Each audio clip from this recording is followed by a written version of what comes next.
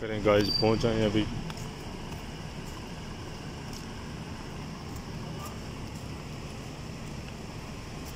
ये ओके हो गया?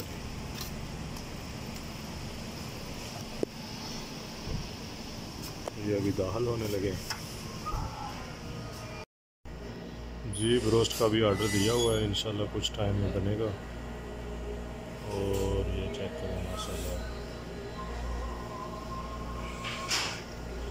सीलिंग भी बहुत प्यारी की हुई है इन लोगों ने। माशाल्लाह ज़बरदस्त। और बैठने की जगह भी। जी माशाल्लाह ये चेक करें अभी खाने लगे खाने तो जाए खानी है तो आ जाए खाने ये तो। ब्रोश वगैरह।